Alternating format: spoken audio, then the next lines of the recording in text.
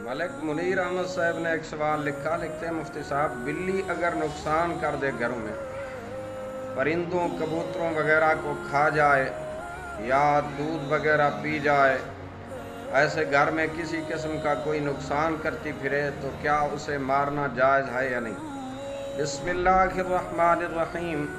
अलजवाब बिहून मलिक वहाब मोहतरम बिल्ली अगर नुकसान पहुँचाने वाली हो तो उसको मारना शरअन जायज़ है। लेकिन जहाँ बिल्ली या दीगर जिन जानवरों को मूजी होने की वजह से कत्ल करने की इजाज़त है, वहाँ ये भी लाजिम है कि उनको तेज़ धार, हथियार, छुरी वगैरह से जल्दी ज़िबा कर दिया जाए, ताकि उन्हें तकलीफ़ कम से कम हो।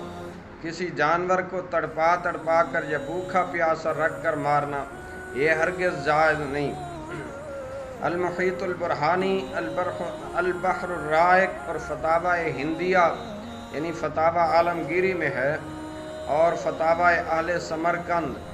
वो लिखते हैं कि जब बिल्ली तकलीफ़ देने वाली हो तो उसको मारा ना जाएगा और ना ही उसके कान खींचे जाएँगे।